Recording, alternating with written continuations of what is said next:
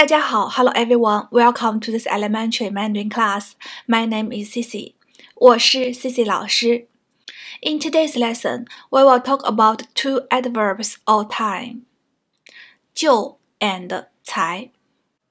Let's firstly talk about 就. The adverb 就 is used to emphasize, indicating that the speaker thinks something happened early or went fast and well. 我下午就去看医生。看医生，to see a doctor。看医生。我下午就去看医生。I'm going to see the doctor this afternoon. Adverb 就 put before the verb 去看医生，go to see a doctor, which indicate that the speaker thinks go to see the doctor in the afternoon happened earlier than expected. 我下午就去看医生。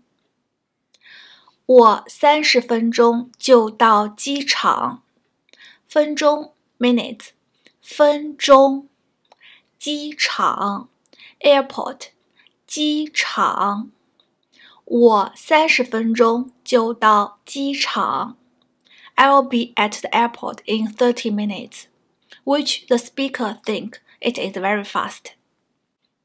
我三十分钟就到机场。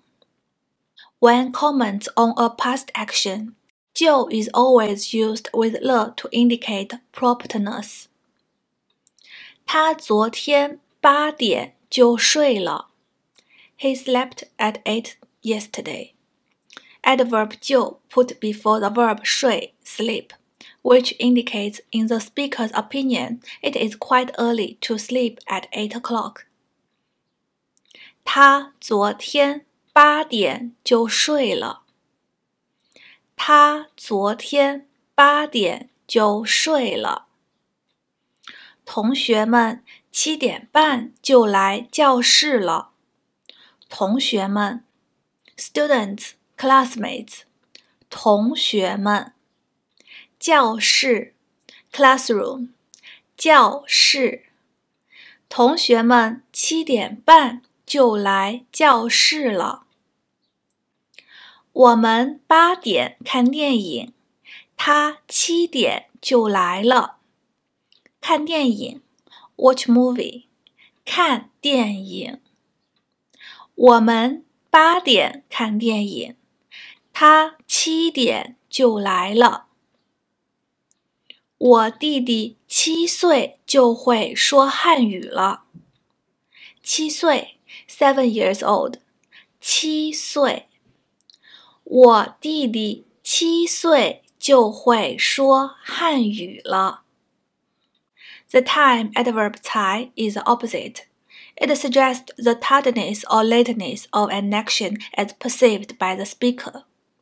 才 is never used with 了。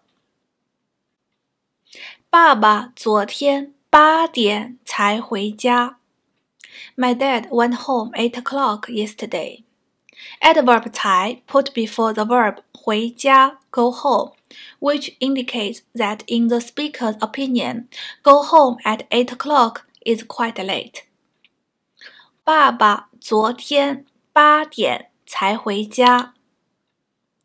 八点上课，他九点才到教室。 八点上课，他九点才到教室。他下个月才去中国。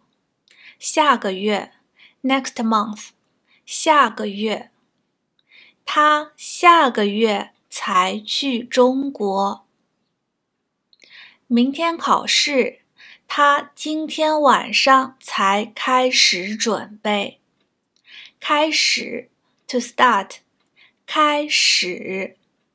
明天考试，他今天晚上才开始准备。弟弟十岁才会写汉字。弟弟十岁才会写汉字。Okay, for today's lesson, we learned the time adverb 就 and 才. Both should be put before the verb. The adverb 就 suggests the earliness or promptness of an action in the speaker's judgment. 我们八点看电影，他七点就来了。Adverb 才 is the opposite. It suggests the tardiness or lateness of an action as perceived by the speaker. 八点上课，他九点才到教室。Please note, when we use time adverb 就 and 才, the sentences are subjective. It only carries speaker's opinion. So for the same situation, 儿子八岁会说汉语。Mother said, 儿子八岁才会说汉语。Father said, 儿子 八岁就会说汉语了。Mother thinks it is quite late to be able to speak Mandarin at eight years old, while father thinks speak Mandarin at eight years old is early. Alright, that's all for today's lesson. Hope you learn a lot from this video. If you think it's helpful, please subscribe. You can also find Mandarin Elementary and many other videos in the playlist on my channel. Let me know if you have any questions. 我是 C C 老师，See you soon in next lesson。谢谢，再见，拜拜。